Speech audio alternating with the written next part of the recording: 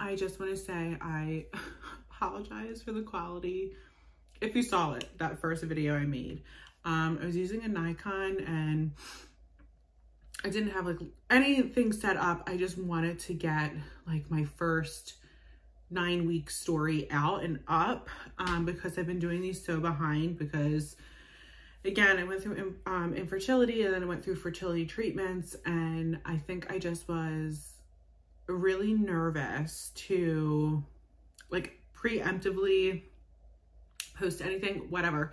Don't be like me and like film it all in the moment, but that's okay. So I just wanted to do an intro for what we did as like our gender reveal. So um, we had the NIPT test and everything came back normal.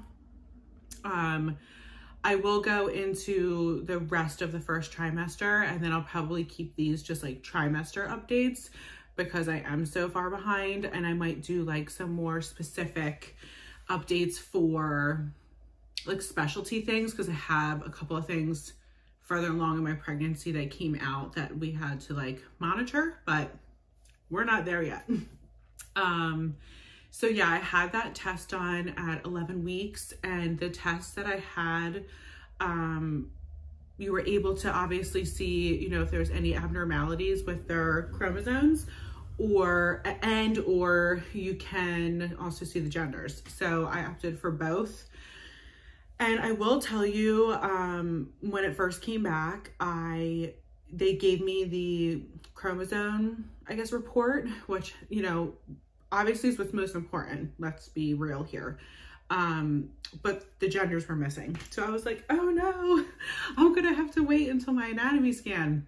Maybe I like didn't check the box off. I did. I, um, my OB finally called me and they were like, didn't you want to know the genders of the twins? And I was like, yeah, I did. And I'm just that person that if it's not, uh, like an emergency, I'm not going to make a deal about it, about it. Um, but somebody was looking out for me. So, you know, obviously if like the, the information for everything else wasn't there, then I'd be like, okay, like what's going on people? Let's get it together. So we um, told a couple people individually because it was just life is just easier that way. And then um, over the pandemic, like my husband became really into baking.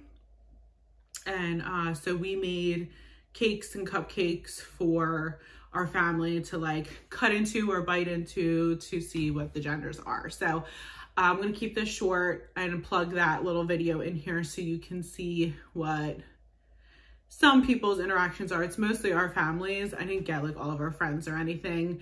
Again, I was just, I was so nervous and I really do think this is like my first and last pregnancy, but um, I encourage all of you to film everything, take all the pictures, because even if it's something happens, you're gonna want those memories and to be able to look back on. And I was just so like terrified. So anyway, coming next is that little like compilation I just made for Instagram.